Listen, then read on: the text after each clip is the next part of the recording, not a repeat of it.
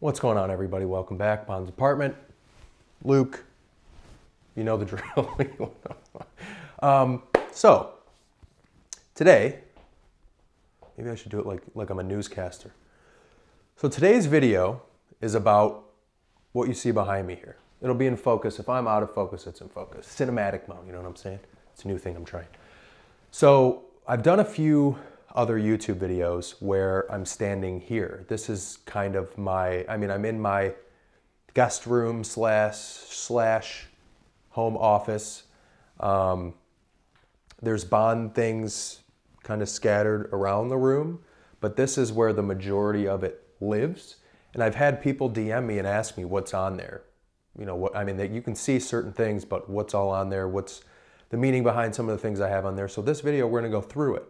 So as you can see here, this is kind of a head to toe. You've got a lot of different Bond things. So you've got Bond, Bond, more Bond, some Star Wars, some Lego, some miscellaneous stuff. So we'll go through every single item on here. Some of them I'll show close-ups of, and some of them I'll just grab and uh, show you myself. So let's get started.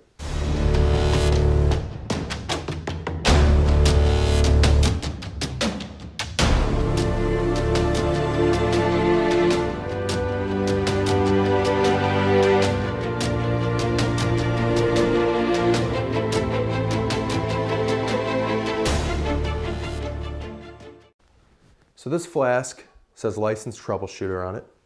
And it was like a little bit of a Christmas gift from the Bond experience, Mr. David Zaritsky. So a lot of uh, sentimental value there. I Love it so much. Appreciate it. A lot of things you'll see on here too are actually gifts from people. Not just things in my collection, but a lot of gift type stuff. Um, so working our way from the top up here, you've got this No Time to Die cardboard like cylinder thing that a No Time to Die water bottle was in. This here, a little mini Macallan 12. This was given to me by Lorenzo and Cassandra, Mr. and Mrs., Mr. and Miss Omega Bond watches. The first time I stayed at their home. This was one of the many things that they gave me for being a guest. Thank you. Um, of course, we've got the DB5, the Lego, I think they call it Expert or something, DB5.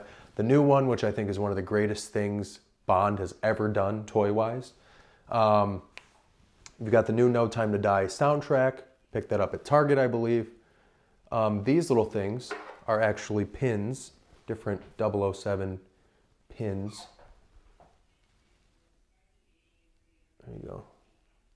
Decent little that one's a Skyfall. They're all kind of scattered across this, but that's from one of those, I think it was like Q box or something. I can't remember. Some box, some subscription box that a lot of us Bond fans subscribed to, got the box, then unsubscribed because it's not all Bond stuff. It's just the one time. This is, so I'm a huge hockey fan.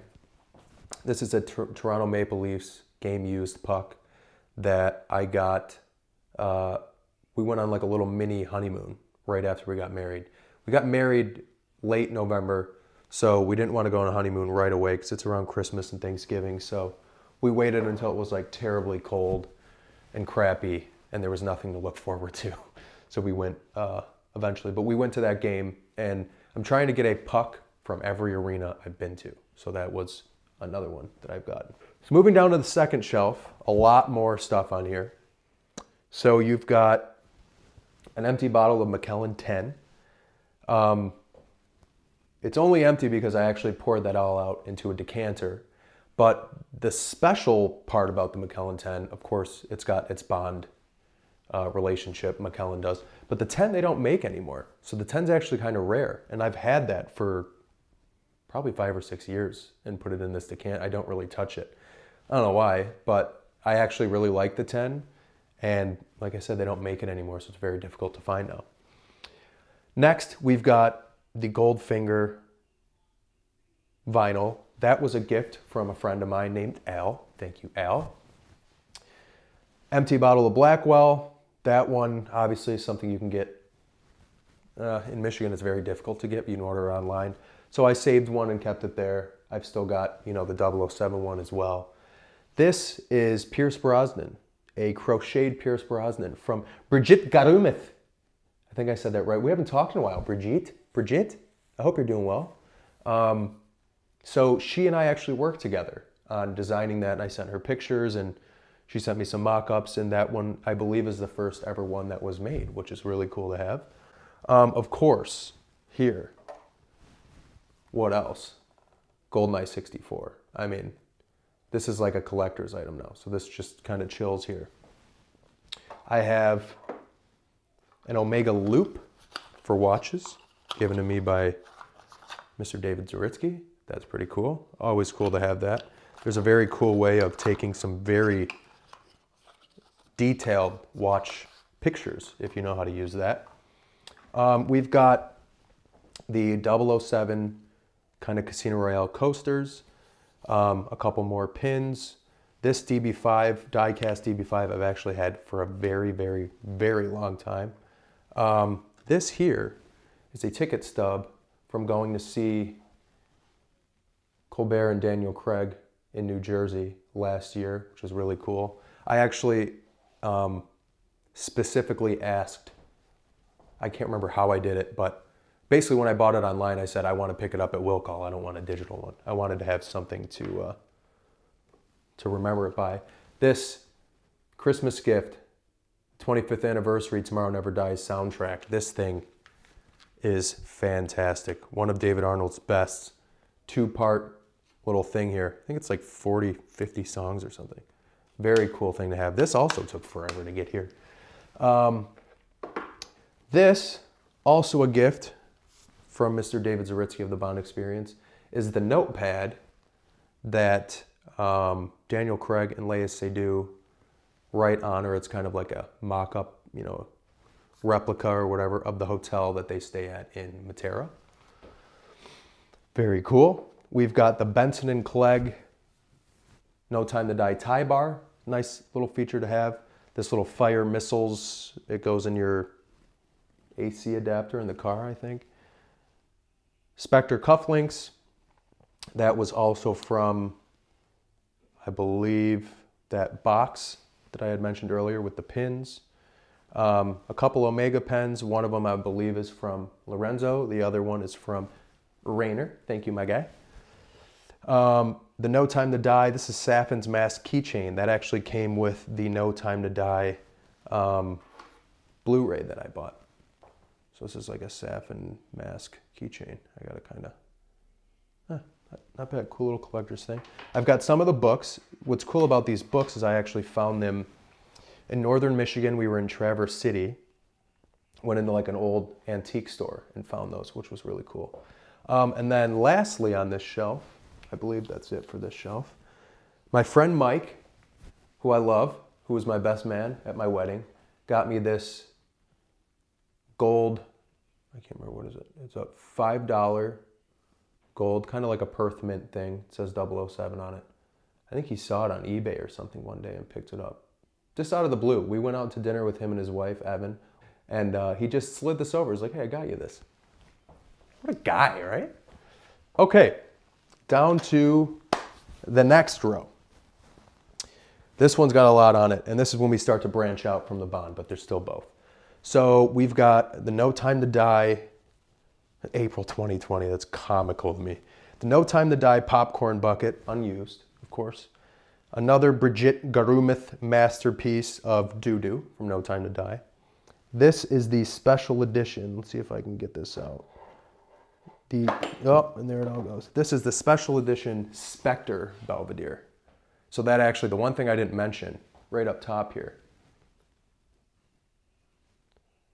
this comes in that shaker. So I've actually got two of the shakers, but just the one of these, but this I'll never open. This is pretty cool. Not, actually not a big vodka guy either, to be completely honest with you. Um, so now that these things fell over, we'll just kind of keep going with them. I got some 60th anniversary Penfold stuff sent to me by Penfold, by Mr. Gavin at Penfold. Thank you very much for that, my friend. Six years of bond. Got the No Time to Die stuff on there. This is a Penfold Hearts ball marker. Also really, really cool. Gavin is a great dude, the new CEO of Penfold. glad I got to meet him and hang out with him and interview him. Really cool guy. Thank you for these. Um, next, see if that'll stay. This is a empty bottle of Bollinger, 007 Bollinger. David and Danielle actually opened that the first time Brienne and I visited them for like a long weekend because it was like our one year anniversary of being engaged. So they kind of surprised us and had that little little thing there. This I skipped too. I don't know how I skipped this. My buddy Grant gave me this. Love you, boy. Another uh, James Bond pop Funko. I got a bunch of them. A bunch of them. Thanks, my boy. Um, what else we got? What else do we got on this thing? So I've got a big thing with aviation. I kind of wanted to be a pilot for a long time. So I, there was a point in time where I collected these, especially as a kid, just these like little die cast planes. This is Air Canada. I've got, uh, I think one just says Flybird on it. And then the other one's a Delta one. Uh, we got a sleeve of Penfold balls here. We got the Florist 007, another pop from No Time to Die. I've got two of these, which I'm really fortunate of. These are the Omega Milanese strap keychains. So it says Omega on one side, 007. It's the same Milanese strap they put on the No Time to Die watch. Really cool.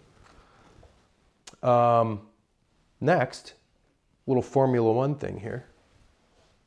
Lewis Hamilton, Mercedes Formula One, Lego, what's up?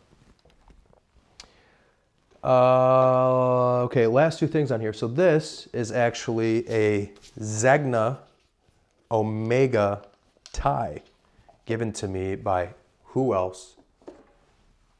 Lorenzo from Omega Bond Watches. This was my birthday gift, I believe, last year. If you look really close, you can see the Omega.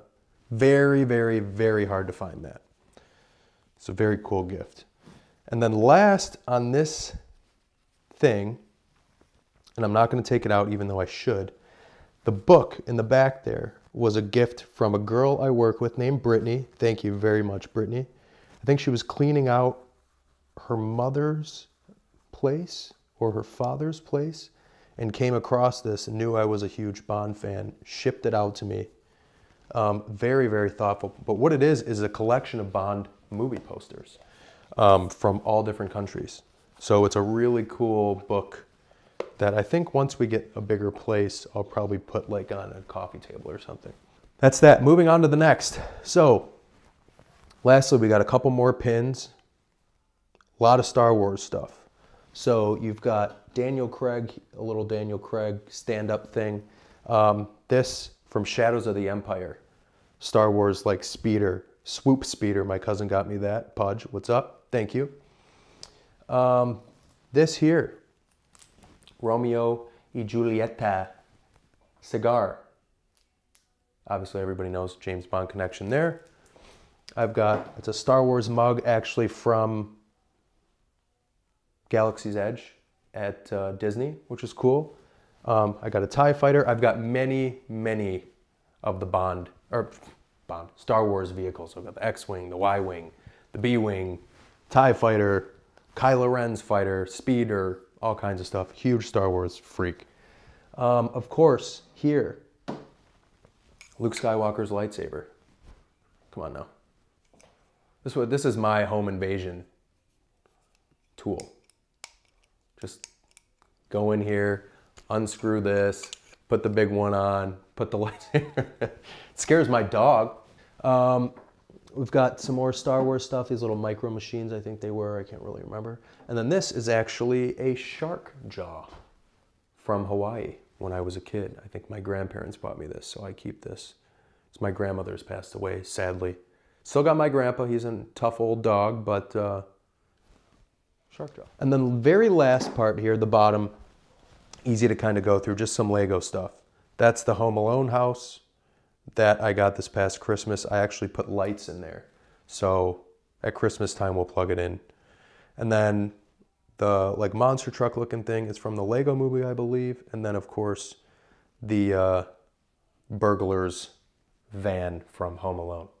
That's it. That's kind of my collection. I mean, there's more stuff kind of scattered, you know, around the place. Um, some decorative stuff that I've got and some more stuff in the closet there, but we're not going to rummage through it. It's not in the cleanest shape at this moment. But I think the, the main reason I wanted to show this, aside from the fact that people always ask me about what's on this shelf whenever I'm standing in front of it in videos, is when I first started Bond's apartment, I didn't tell people. I told my wife, and that was it. And I started following a lot of the Bond people and interacting with them. And eventually I was like, I'm not going to do this incognito. You know, I'm going to put my name out there. I'm going to let people know it's me. You know, at first I did it like out of fear of what people would think, friends, old friends who honestly, I stopped caring. You know, people that like it and support it, they're good friends. If they've got a problem with it, their problem is none of my business. Write that, get tattoo of that. Your problem with me is none of my business. That's kind of what I got ingrained here. I love doing it. It's a passion of mine. And like I said, a lot of these things on here are gifts. You know, gift from my best man out of the blue. Gift from one of my best friends, Grant, out of the blue. Gift from Al, another one of my older friends, out of the blue. I mean, a lot of people just showing support for what I do in my hobby, you know, with these really nice collector's things. So I have them on display for all to see. But that's it. Thank you guys for watching. I hope you enjoyed it. And we'll catch you on the next one.